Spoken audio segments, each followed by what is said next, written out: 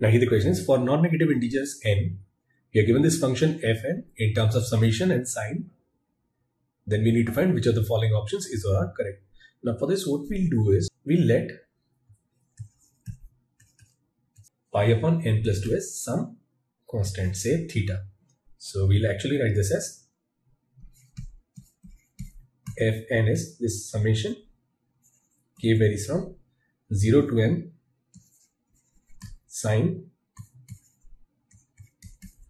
k plus 1 theta into sine k plus 2 theta whole divided by this summation k varies from 0 to n sine square k plus 1 theta. Now we'll multiply and divide it with 2. Now this is 2 sine A sine B and we know that 2 sine A sine B is cos A minus B minus cos A plus B. So it will be this summation. K varies from 0 to n and cos A minus B.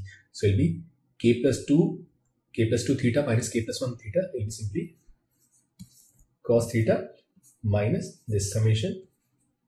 K varies from 0 to n and it will be cos A plus B.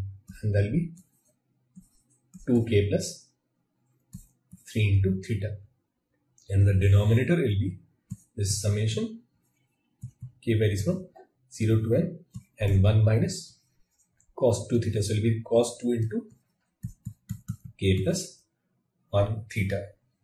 Now since theta is independent of k, this summation cos theta is summation of constant. So it will be this n plus 1 into cos theta. So we can write fn as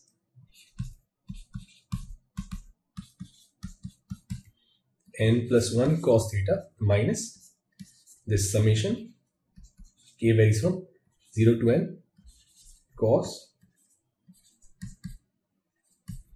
2k plus 3 theta upon this summation 1 will also be n plus 1 minus this summation k varies from 0 to n cos 2 into k plus 1 theta. Now first we'll simplify these two summations. Now this first summation is summation k varies from 0 to n cos 2k plus 3 theta. Now if we put k as 0, so it will be this cos 3 theta cos 5 theta cos 7 theta up to cos 2n plus 3 theta where angles are in AP. Now in this case, value of alpha is 3 theta and value of beta is 2 theta. That's your common difference. We know that sum of the series is sine n beta by 2. n beta by 2 will be number of terms is n plus 1 and beta by 2 is theta upon sine beta by 2 which is sine theta into cos alpha plus which is 3 theta plus n minus 1 which in this case is n into beta by 2 which is theta. So it will be this sine n plus 1 theta into cos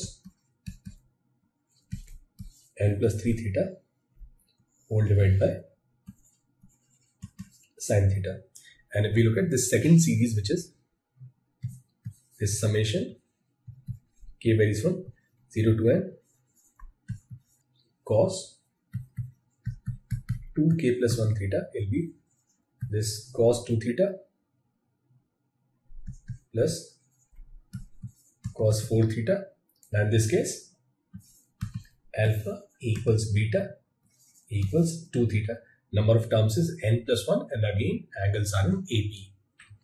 So we can write this as sine n beta by 2 so will be this sine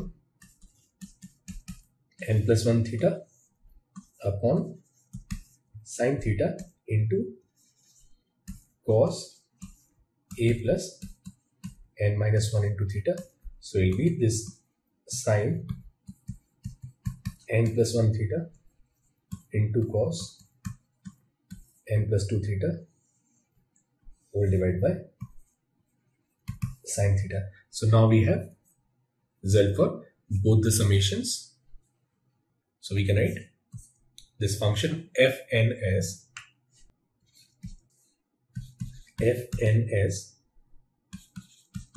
n plus 1 cos theta minus this sine n plus 1 theta cos n plus 3 theta upon sine theta divided by n plus 1 minus sine n plus 1 theta into cos n plus 2 theta upon sine theta. Now we have taken pi upon n plus 2 as theta. So we can write n plus 1 theta as pi minus theta. So sine n plus 1 theta will be sine theta and n plus 2 theta will be simply pi.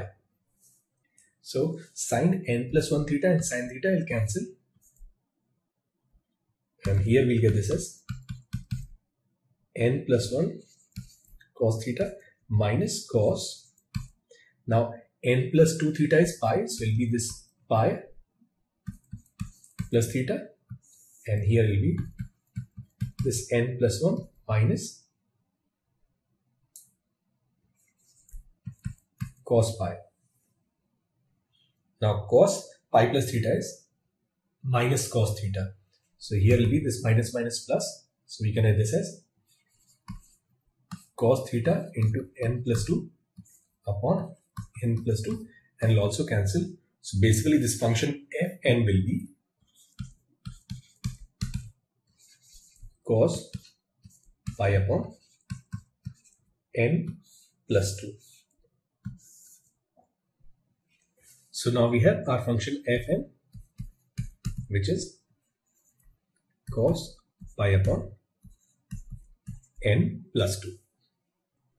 Now the first part is f4. Now this f4 is cos pi by 6 and cos pi by 6 is root 3 by 2. That means option A is correct. Now f6, f6 will be cos pi by 8. Alpha is tan of cos inverse f6 and cos inverse f6 is pi by 8. So it will be this tan pi by 8 and tan pi by 8 is simply root 2 minus 1. Now we take this one on the left hand side square, we get alpha square plus 1 plus 2 alpha will be equal to 2 or alpha square plus 2 alpha minus 1 equals 0. That means this option B is also correct. Now for the C, we need to find F5. F5 is cos pi by 7. Now sine 7 cos inverse. F5 will be sine 7 pi.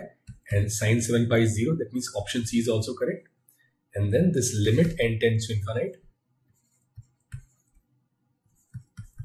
Fn will be this limit n tends to infinite. Cos pi upon n plus 2 now this is cos 0 and cos 0 is 1 so option D is incorrect. So the correct options are A, B and C